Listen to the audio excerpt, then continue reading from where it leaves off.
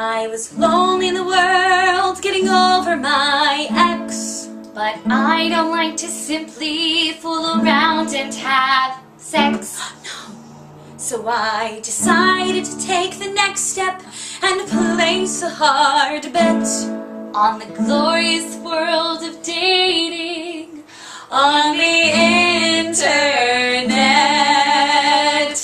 There's harmony with ravey views and Christian mingle. There's a bunch of guys with bulging thighs who say they're single. OkCupid is not stupid, perfect match is okay. I hope to find a hunky guy to click away.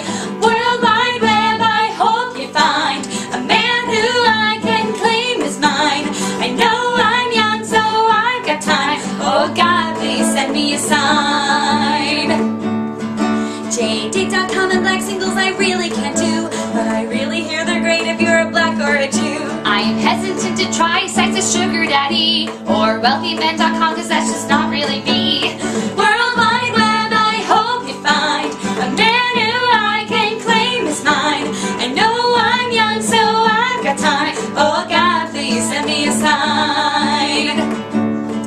If you're into international love and Asia's your girl, if that's too much to handle, Easy Flirt's quite a whirl. There's Get On and Date.com, Matchmaker and Zeus, but I'd